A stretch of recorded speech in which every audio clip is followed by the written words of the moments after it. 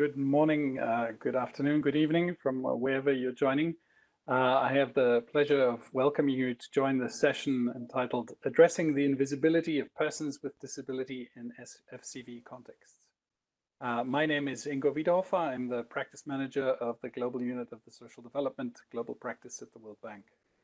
It's a great pleasure for me to moderate this important session which will hope to, which will show how we can be responsive to recent trends and global policy mandates to promote disability inclusion in humanitarian and conflict interventions uh, across the world.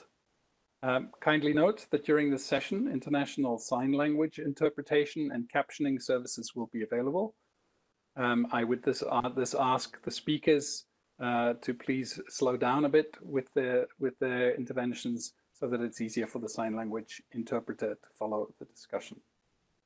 So uh, Disability in FCV contexts. Uh, by 2030, up to two thirds of the world's extreme poor will live in countries characterized by fragility, conflict, violence. The global fragility landscape has worsened significantly over the last 10, 15 years.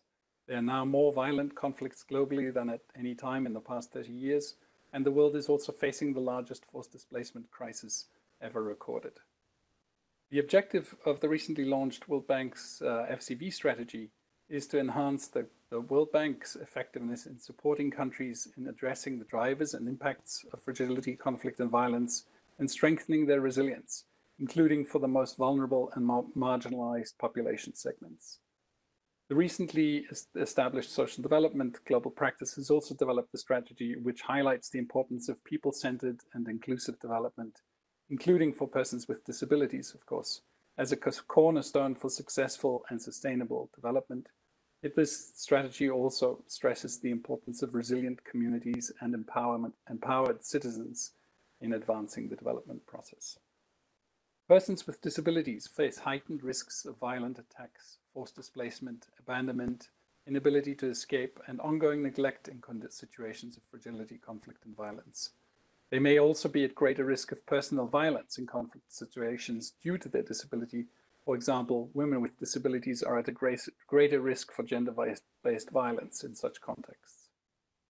The purpose of this session is to highlight the gaps in development programming that exacerbate the vulnerabilities experienced by persons with disabilities in FCV situations. Barriers and risk factors that may exclude persons with disabilities from critical services will be discussed. And most importantly, examples of good practices will be shared to ensure that the needs of persons with different types of disabilities are considered fully throughout the development programming, planning and programming and, and evaluation cycle.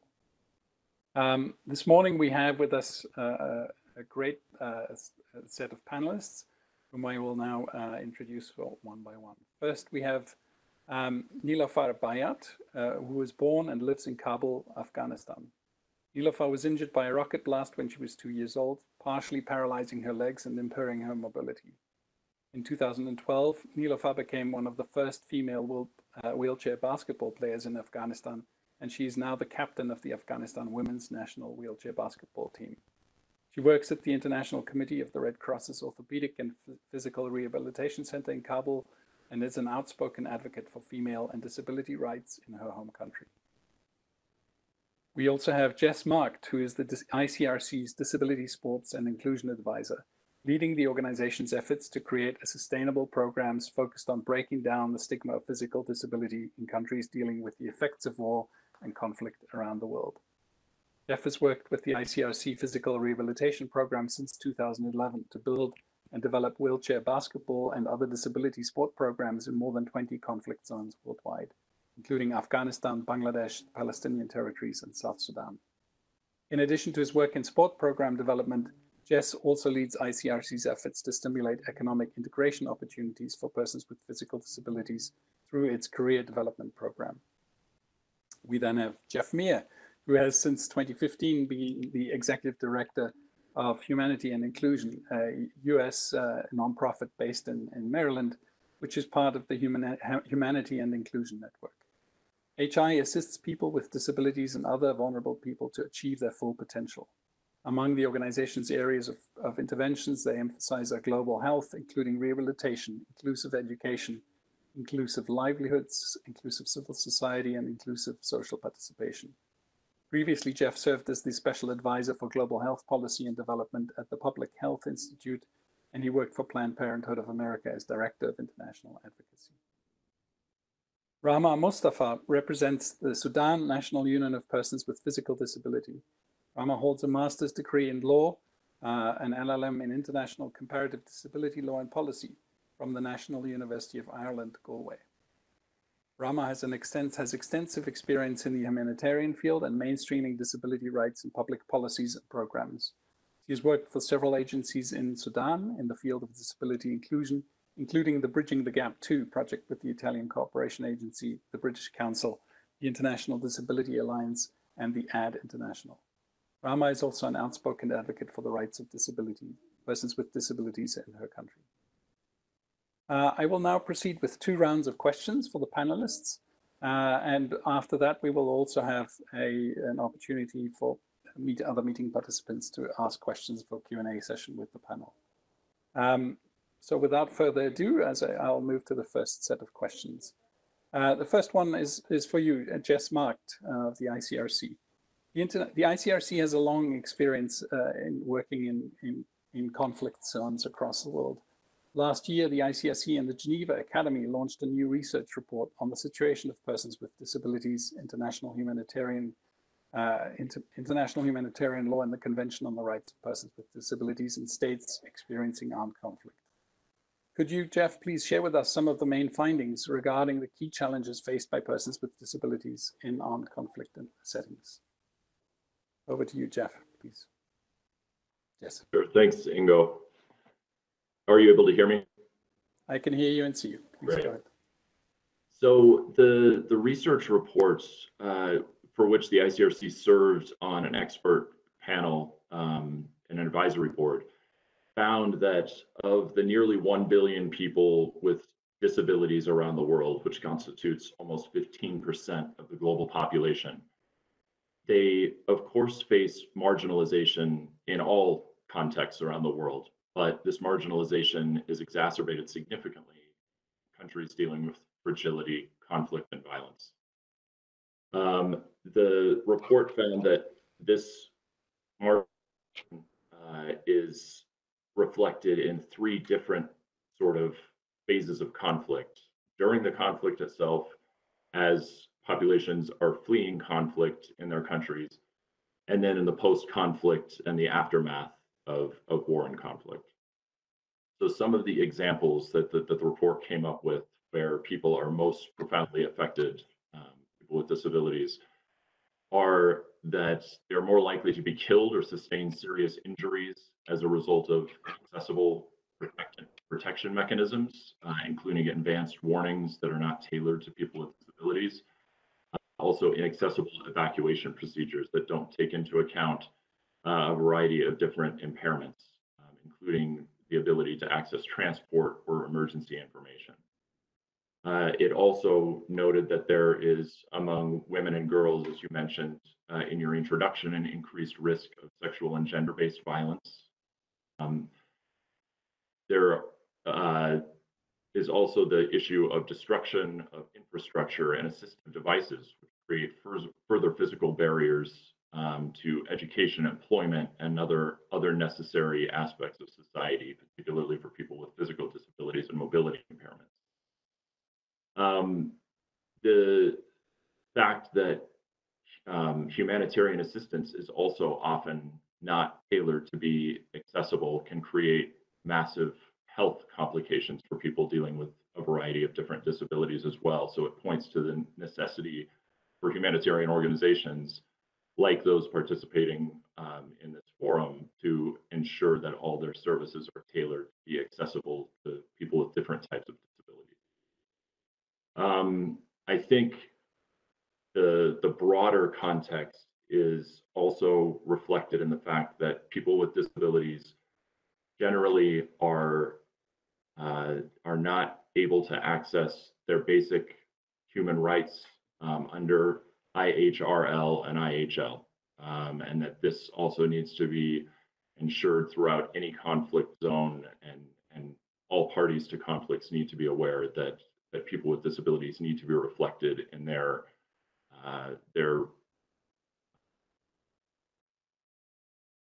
sorry, their um, recognition of international humanitarian rights law and in, international humanitarian law. Um, I think to sum up, um, people with disabilities are also often seen as passive victims um, in situations of conflict and not reflected as empowered in agents of their own change. Um, and so the sort of um, unofficial motto of the disability community, nothing about us without us, applies here in the fact that as programs and and regulations are put into place reflecting people with disabilities in FCV context, the people that need to help drive those regulations and laws forward need to be from the disability community.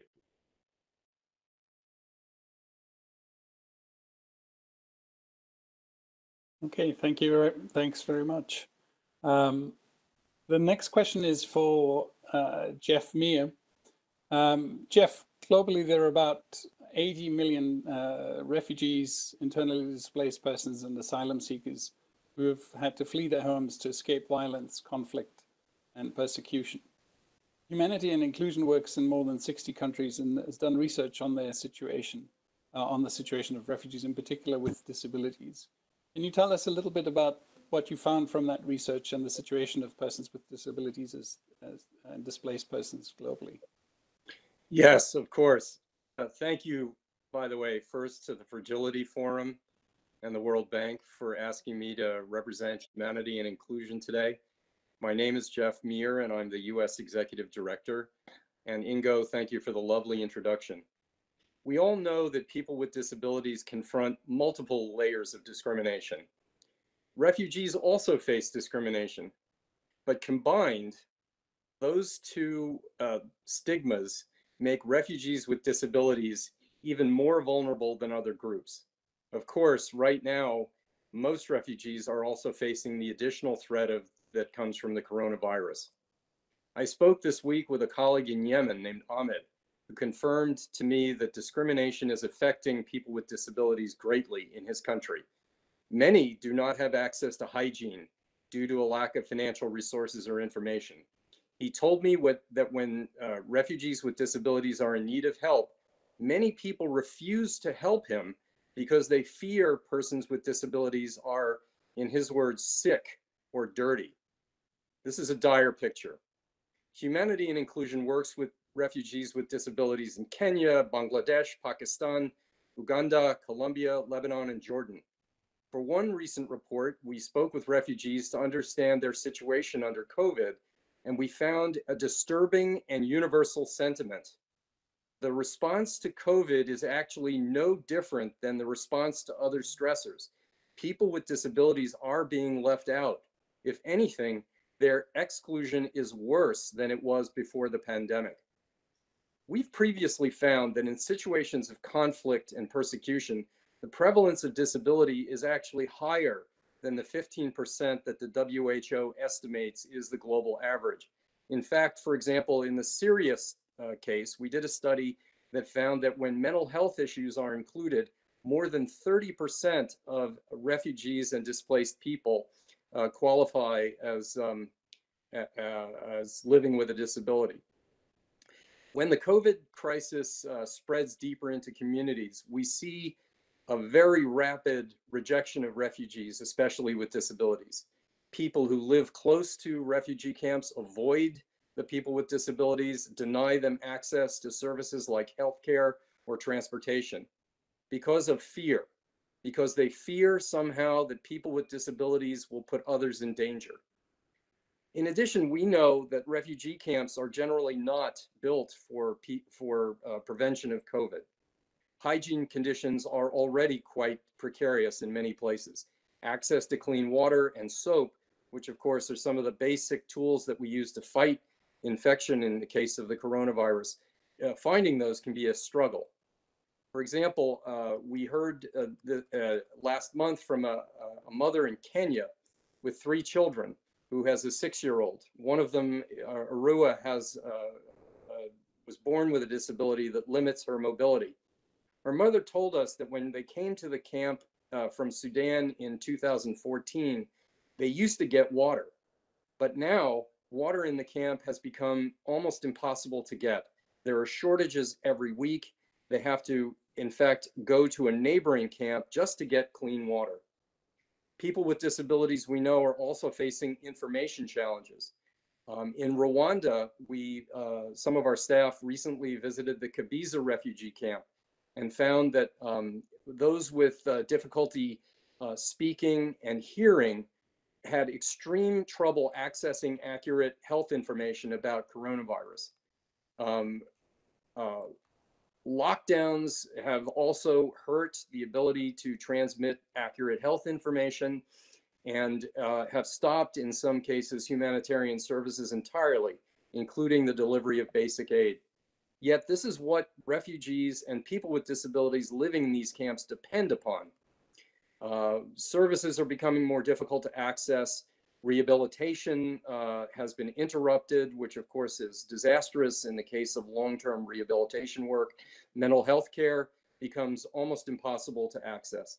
Family planning, maternal ch and child care, even clinical management of cases of rape and gender-based violence become extremely difficult for refugees to access. Um, healthcare workers are restricted in their travel, and uh, uh, COVID-19 really has swamped the care of a lot of other uh, uh illnesses and problems that occur in refugee camps. I also think it's important to mention the socioeconomic risk of people with disabilities living in refugee camps because they already face barriers accessing the informal and the formal economies. In the case of COVID-19, the lockdowns have disproportionately exposed people with disabilities to loss of income and food insecurity. Many find that they have to turn to negative coping mechanisms to address these challenges.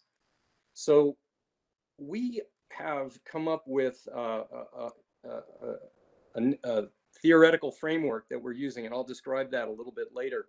But in our work in the refugee camps today, we are trying to collect and analyze and monitor data about refugees with disabilities disaggregated by sex, age, and disability. We are designing and sharing information with other actors. And as uh, Jess mentioned, we always keep in mind the principle of nothing about us without us. We make sure that people with disabilities and OPDs, the, uh, the organizations of persons with disabilities, are involved in every stage of our planning and relief. Thank you. Thanks uh, very much, Jeff. And yes, I mean, clearly the uh, one would expect that the COVID stress, the COVID situation and the additional stresses that that's placed would further exacerbate many of the um, existing uh, already inequalities and access. Um, it'll be interesting, I think, perhaps uh, later in the talk to go through a bit, few more of the implications of that. Um, let me turn now to Nilofar uh, in, in Kabul. Um, Nilofar, conflict and disasters increase the vulnerability of persons with disabilities of all ages and gender, but it's known that, that it disproportionately affects women and girls. Um, based on your experiences, what would you think are the greatest challenges for women with disabilities in FCV settings? Mm, as I think uh, living in Afghanistan is not easy. Uh, for a woman, it's uh, dangerous. But for a girl with disability, it makes double all the challenge. Um, we have too many big challenges like uh, we don't have the basic human rights. All the Afghan girls that they have disability, I speak about. Uh, if you see the girls that they go to school or university or doing basketball or maybe other sports or they are active, it's just about the city, uh, like Kabul, Herat, Mazar-e Sharif, or, or, or just few cities that um, they uh, they are allowed to go to school or do uh, uh, basketball or sport or some other activity. Um, but in all Afghanistan, there is two or three uh, uh centers like ICRC, Swedish Committee, or others that they have uh, free services for the for people with disability. But there are not good university or school or a shopping center or restaurant or many other places to be accessible or uh, people with disability can, can use. Uh, it's like that. And also the girls with disability mm, doesn't have, still they couldn't achieve the rights, uh, the equal that other people has, like, like men in Afghanistan.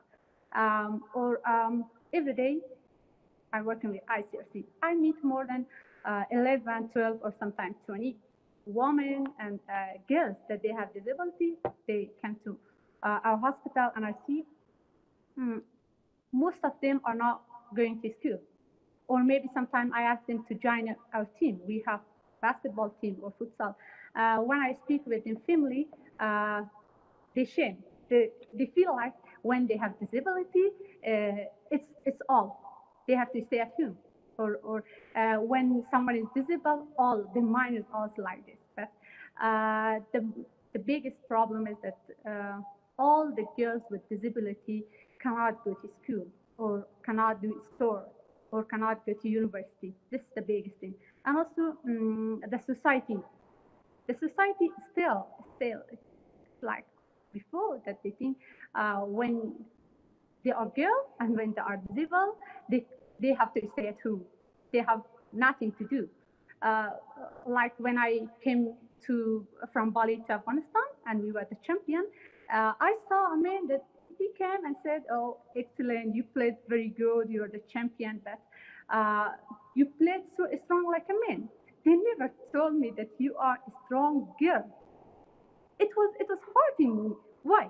But I said I want to be like a strong lady. I want to be a strong girl in Afghanistan. It's not always like this. To you compare me with the strong women, men. It shows that still we are the second gender but with disability, we are the third gender. And uh, it really it's not easy in Afghanistan to deal with this all. But now uh, in Kabul or some others, a little bit changing. Uh, I'm happy with this. I'm really happy. I'm working on this. I'm speaking with too many families to allow them girls and daughters to uh, to let them go to school. Or um, I speak a lot with uh, families that allow them to come and play with me there's a lot of girls. But um, like my brother, still uh, he's not so agree with this to Nilofar be famous or all Afghanistan know even my name or see me in social media. Uh, but fortunately, I have a nice father that he's always supporting me. I hope it, it happened to everyone in Afghanistan. Thank you. Thank you very much, Nilofar. I think that really goes to the point about the importance of also looking at norms and values and cultural values and how to, to help to shift those in this process of disability inclusion um, as we think about how we can try to make a difference in, in supporting persons with disabilities in such environments. Thank you very much. Um, let me turn now to Rahma Mustafa, who is with us, uh, who is in, in Sudan. Rahma, the previous panelists have discussed diverse challenges faced by persons with disability, disabilities in, in FCV contexts. Can you tell us a little bit about the key international and regional agreements and give us some examples of those which are which protect the rights of persons with disabilities in FCV settings? Hello. Uh, national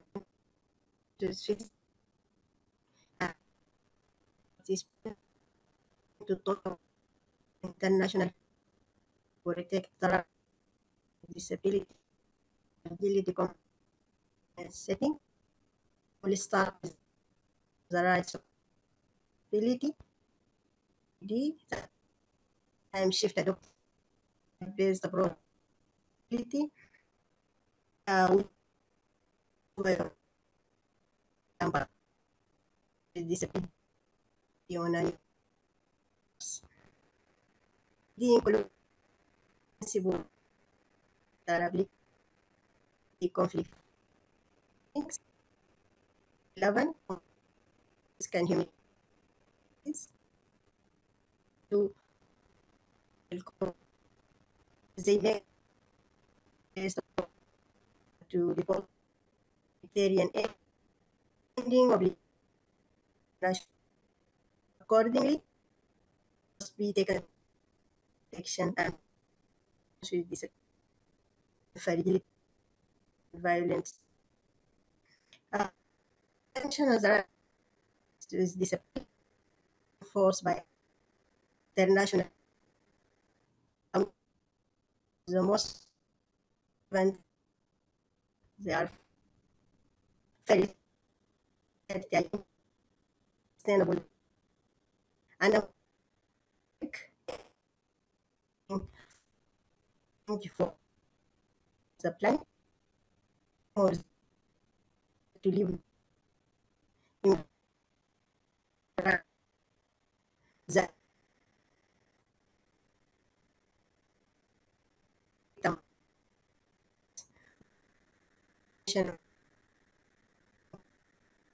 persons with goals specific inclusion in humanitarian affairs peaceful society and will provide for all active contributions life frame the risk that aims and that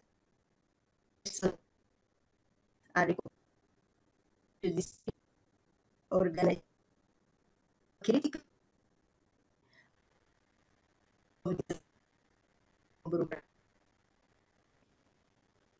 all these policy. This and includes from decision made based on information. This age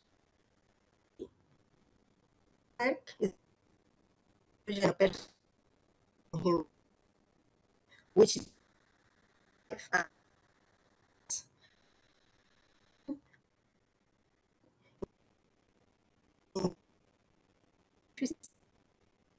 uh, this for me of how alien another disability.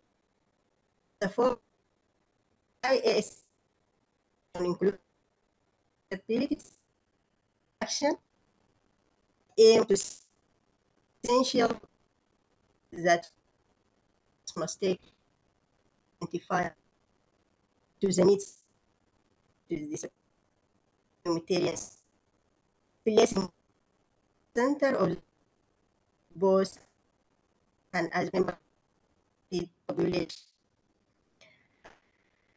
and the law is a pretty council on protection disability and humanity.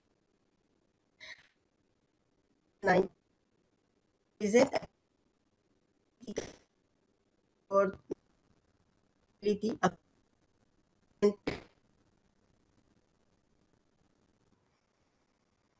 it council over the both armed conflict with this proposed to address the violence face, including taking measures to ensure to assist and basic service provided in the context of armed conflict on an equal basis with others.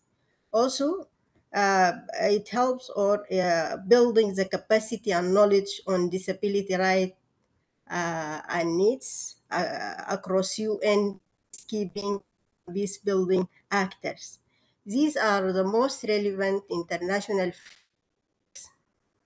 persons with disabilities in uh, fragility, conflict, and violent settings. Thanks very much, Rahma. Um, and I'll come back to you maybe at a later point with a couple of questions on on implementation challenges um, around these. But thanks very much for providing those frameworks. Um, let me move on now, I think, to the second round of questions at this point. The first one uh, in, in this round would go to Jeff Meer. Uh, Jeff, could you give, share with us some of the examples of the projects and good practices that Humanity and Inclusion has implemented to support the, the inclusion of persons with disabilities in FCV settings? Yes, of course. Thank you. I have a number of examples that come to mind, but I, I thought I would mention, Ingo, in this context, the framework that HI has put into place uh, specific to the COVID pandemic, um, which we are calling Basic Service Access for Everyone, or Be Safe.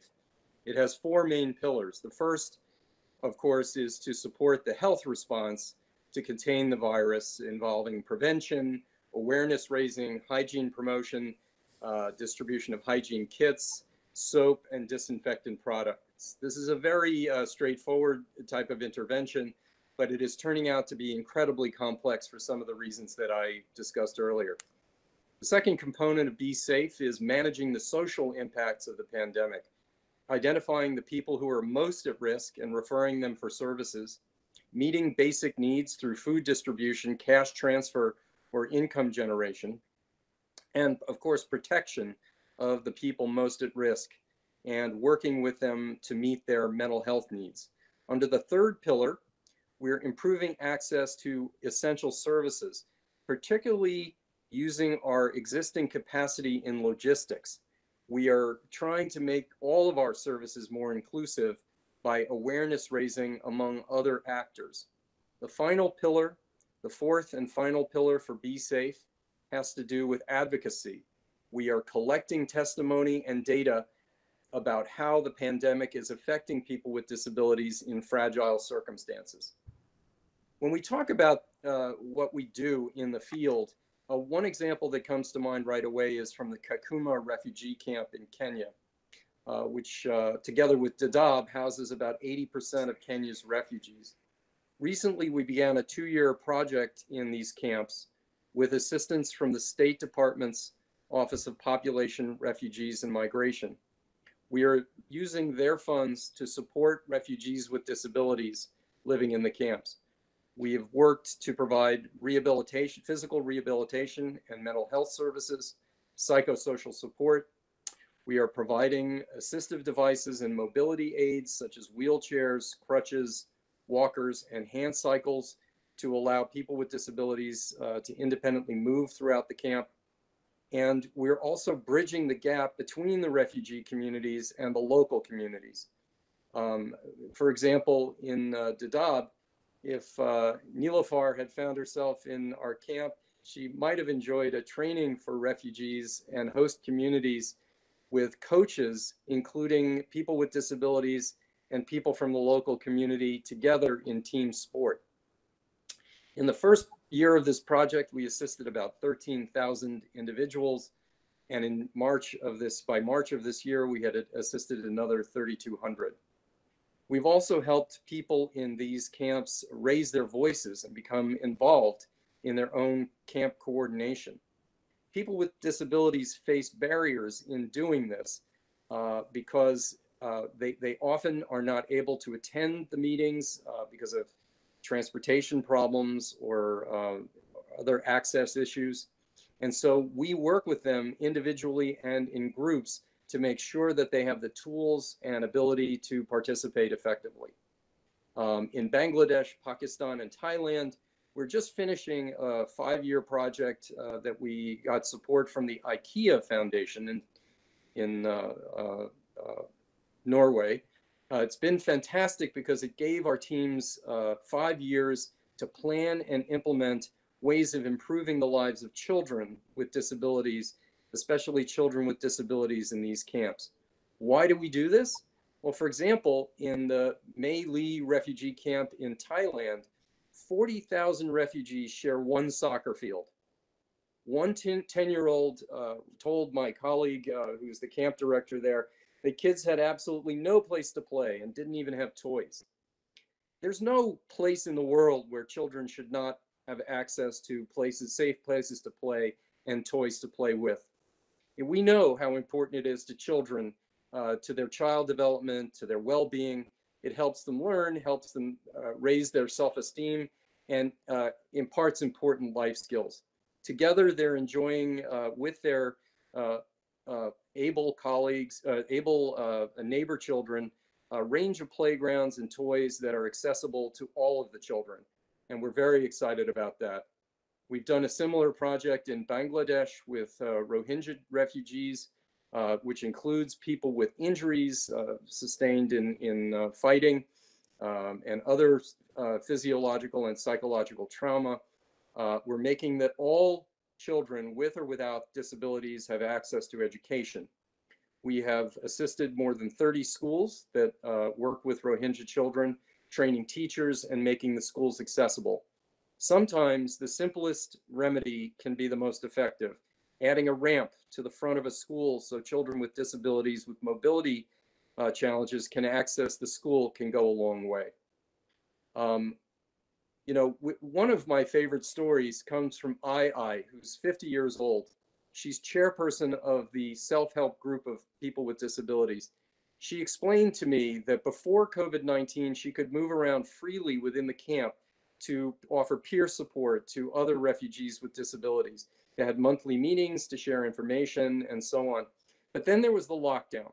And the lockdown changed all of that. The camp committee did not allow her or any of her colleagues to move around. And suddenly she was stuck.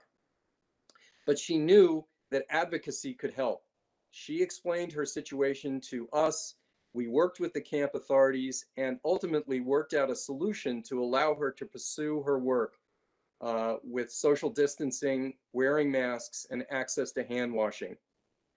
What Ai said, I'd like to quote. She's told me that persons with disabilities should never be abandoned. It is my duty to support them and I will never stop. Thank you.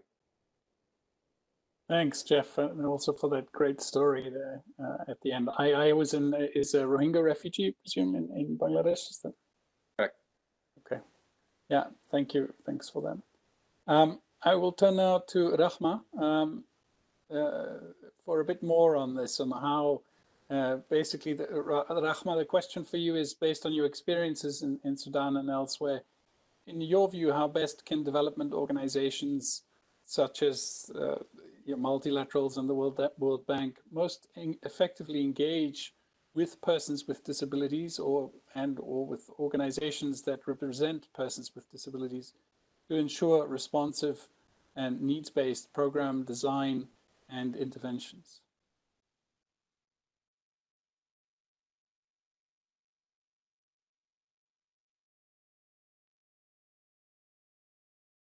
Rahmat, are you there? Do you hear me? You may be on mute. Hello. Yes. Uh, uh, oh, there we go. Perfect. Thanks. Go ahead, please. Uh, consult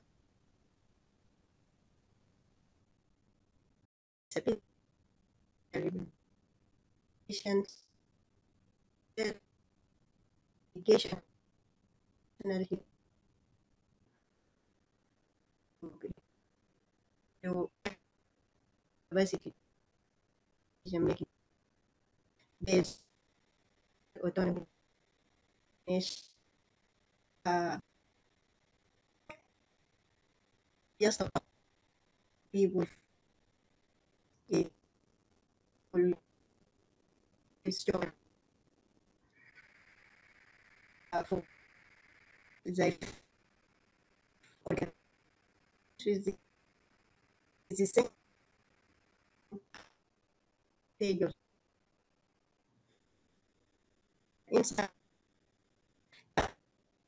it will help you. Is constantly involved the monitoring. Comes in the that also to give patient uh, opinions uh, direct for making quiet disappear. Post formation consultation to foundation also that's like sound as easy retake language and break communication. Also, the- but to make decisions, choose family dependent process or the decision. Eto, really what and how? So this solution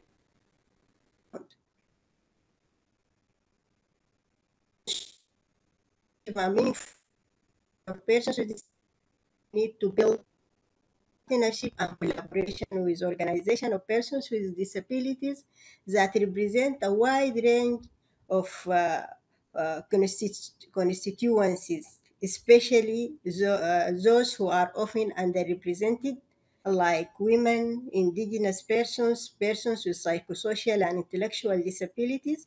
Uh, the- uh, this would be better to address the multiple and intersecting forms, forms of discrimination they face. It is necessary to take measures to ensure that persons with disability receive the necessary support, uh, fund, encouragement to be part of the decision-making process, especially in the absence of representative organizations creating opportunities for strengthening and empowerment of persons with disability and their organization leads to meaningful participation. Also, we need to conduct continuous monitoring and evaluation of the functioning of participation of persons with disabilities at local, regional, and international uh, uh, decision-making process. Uh, consultation with organization of persons with disability should be based on transparency, mutual respect, meaningful dialogue, and sincere aim to reach collective agreement on programs that respond to their, their, their diversity. And uh, such process should allow for a reasonable and realistic timeline take into account the nature of organization of persons with disability, which often depend on the work of volunteers. Uh, to conclude, I can say that participation of organizations of persons with disability require planning, budgeting, uh, to adapt the physical environment and communication, to ensure accessibility and also require provision of reasonable accommodation. Staff should be also trained uh, to address attitudinal barriers that often present and deeply rooted in communities. Thank you. Thank you, Rahma. That's a really nice comprehensive, comprehensive, I think, overview of how how development partners should be thinking about engaging with persons with disabilities, including anywhere, I would think, but certainly also in such environments, in FCV environments. Um, I'll turn now to Jess Markt. Um, Jess, in your work uh, as a sports and disability inclusion advisor, can you give us a, a, tell us a bit more about the power of sports in fostering inclusion and the well-being of persons with disabilities, uh, including in FCV settings? Uh, I think the the true power of sport is is multifaceted. Um, so when we implement sport programs, um, the first thing we're looking to do is just drive societal and social integration of people with disabilities that maybe have never been given the opportunity to have that sort of interaction um, based on their societies and cultures. And so from that, um, participants are able to build confidence and feeling that as they progress through their their process in learning a sport that they have a personal definition that is something other than being a person with a disability and what we see is that as these programs advance and as these participants are able to play at higher and higher levels that sort of self-conception starts to become more as an athlete first than as a person with a disability first, which is the definition that they have always been given their societies and their communities. So with that sort of personal evolution, and I've seen so many incredible transformations on these programs. Um, what we then start to see is a transformation in the way societies look at people with disabilities. So instead of seeing people with disabilities as objects of pity or charity, um, or even looking at them through sort of what we call the medical model, um, they start to see athletes like Nilofar on television playing at a very high level, whether it's in her country at a national championship or whether it's in an international competition representing her country with the flag of Afghanistan on her back.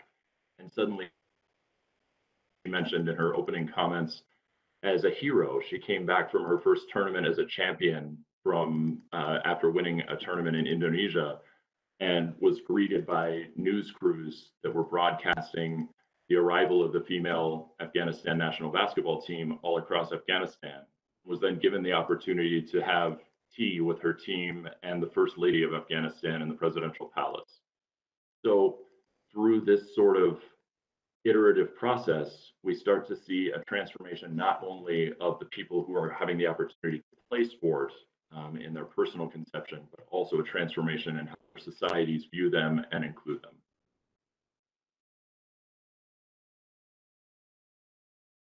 Thank you, Jess. And and maybe I will uh, at this point then turn to Nilofar for her kind of perspective on this. Nilofar, as as a, a high level athlete, what has sport meant to you personally, and what do you think are the positive effects it can have for for other women with disabilities living in fragile contexts such as Afghanistan? Um, of course, as uh, all my friends and family and everyone know that and now basketball is the important part of my life. It changed too many things in my life and the other girls that they are doing basketball in. Like uh, on 2018, uh, the government of Afghanistan has selected me in the list of top 10 ladies that they are inspiring and working in Afghanistan actively. And on uh, 2018 and 19, uh, two years, uh, embassy of USA uh, in Afghanistan has um, written about me that Nilofar is the um, activist girl in Afghanistan. This is all about uh, basketball and sport did with me and so other girls in Afghanistan. Uh, like I have a good friend from the first day I started basketball. Uh, she's Fazana. She was before uh, Fazana was at home, not going to school, or she had a very deep depression, as uh, his mother knew, and now I know him. I know her better. Mm, with basketball uh, and with sport, mm, she started uh, her school. She graduated, and from uh, 2019 and up to now, uh, she's working with an NGO. She has a team. And now, uh, basketball changed my life. Like now, I have enough confidence to speak about the rights of girls with disability or all the people with disability in Afghanistan, uh, I can lead a big team. It's not, it's not, uh, I think, small team in Afghanistan for a girl. Uh, and um, I have a lot of friends, and uh, now, uh, when the people see that I can do too many things, or the girls that they come uh, and see me in hospital or in a gym in during the sport time, when they see they feel uh, like they can do also. It's not a different thing, or it's not a hard thing to. It's not difficult.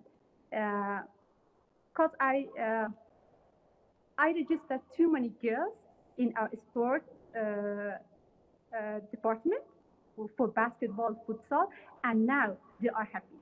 And in Afghanistan, when um, when we came for the first time back to Afghanistan uh, from Bali with the championship, uh, after that, too many people came and understood, oh, no, that there is a team, that they are disabled, they are doing basketball. Basketball was so, basketball was not so famous uh, before that.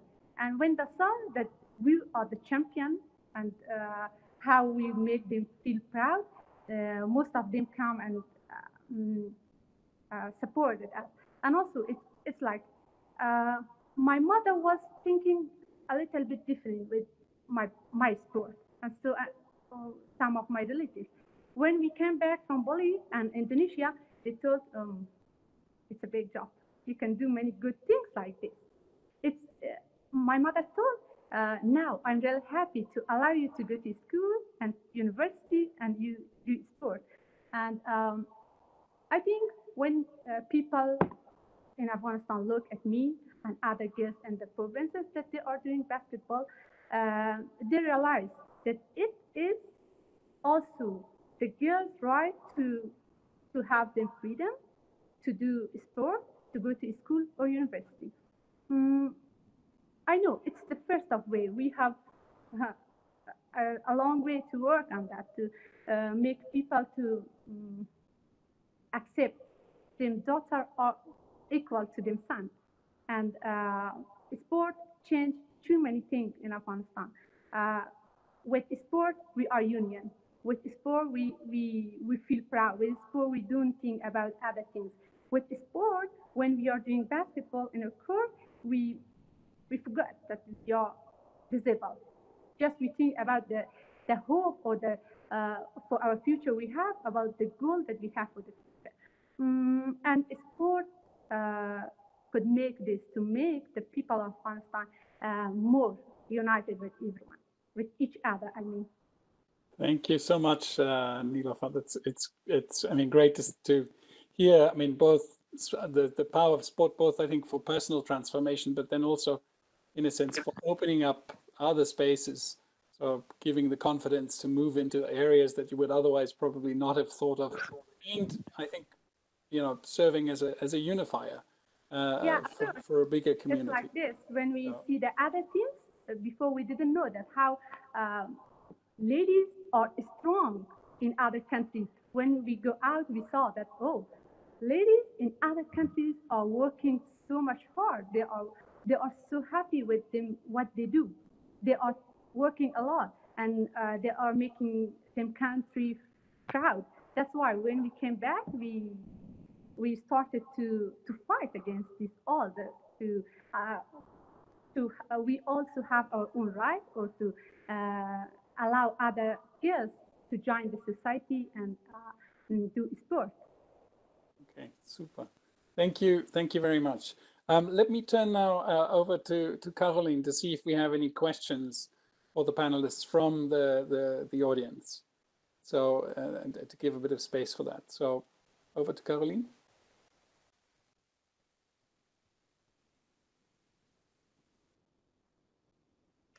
You can continue a little bit more. I don't think we have any questions yet. Okay, good. No questions come, have come in yet. Okay, good. Then, I mean, let me um, um, come to this question. Maybe, maybe uh, both Nilofar and I think Jess touched on it. This question of um, how to approach, I mean, in this case, it was sports to that, helped to shift uh, norms and, and, and uh, that, that, can help to shift norms and values, views of women, but also views of persons with disabilities. And obviously there's an, and, and the intersectionalities there.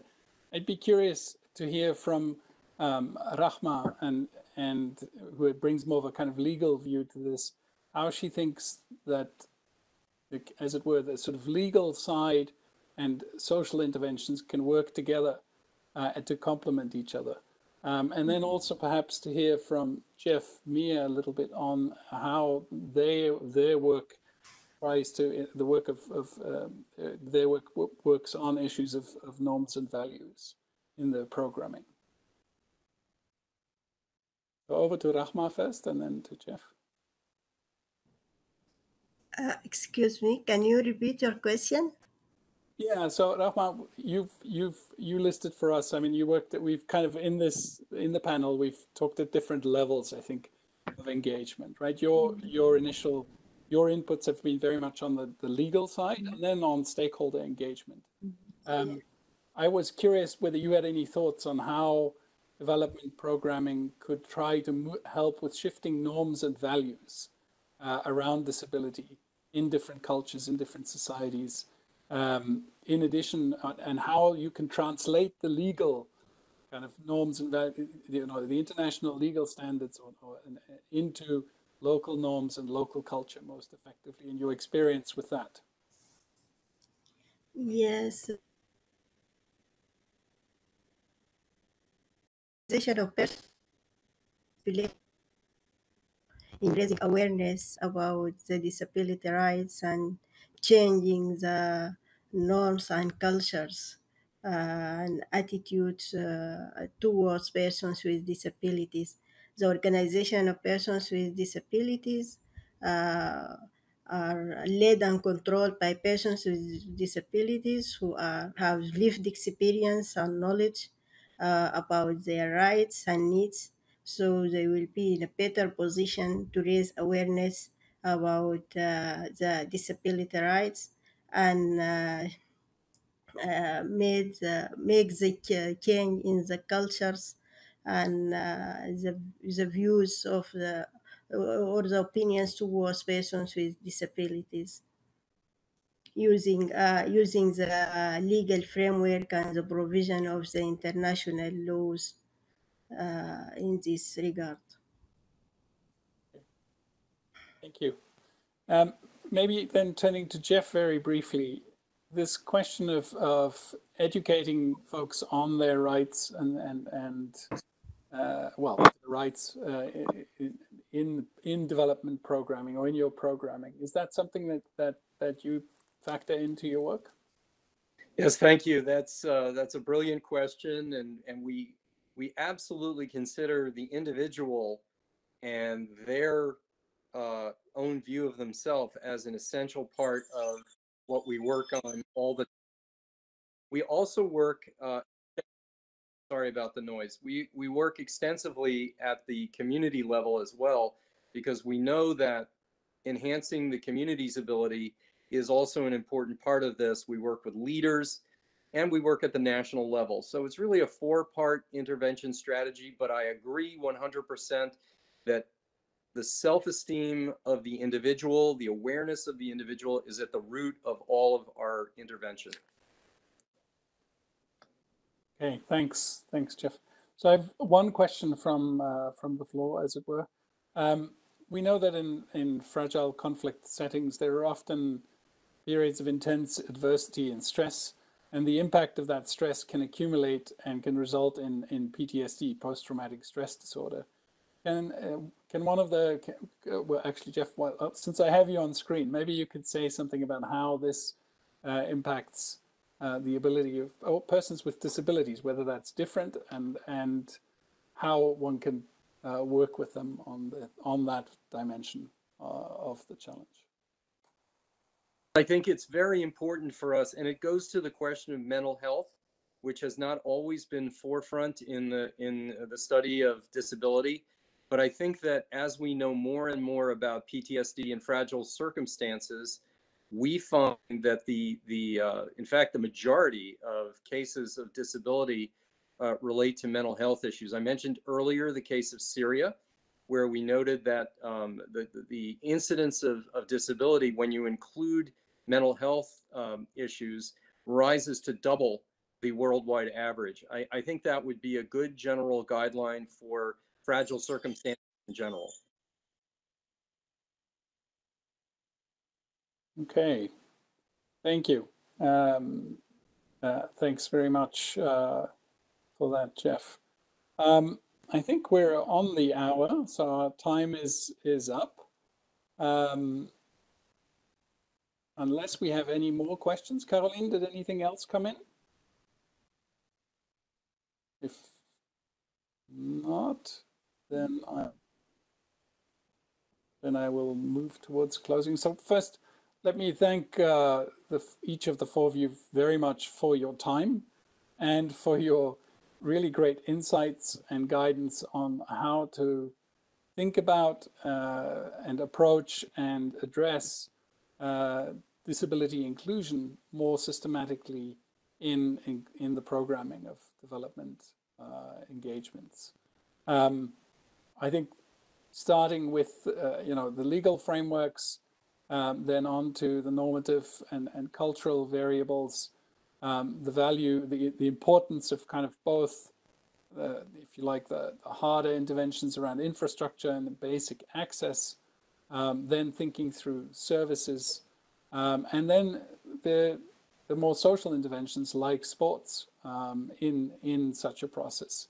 I think really great great uh, you know contributions from from all of you. Um, I think it certainly helped. I, I hope it's helped the participants to improve their understanding of the differentiated and discrete risk factors and vulnerabilities experienced by persons with disabilities in FCV environments. Um, and the, I think to help deepen our understanding of the impacts also of FCV situations on persons with disabilities and, and how those are uh, discrete and different um, and need to be thought about separately.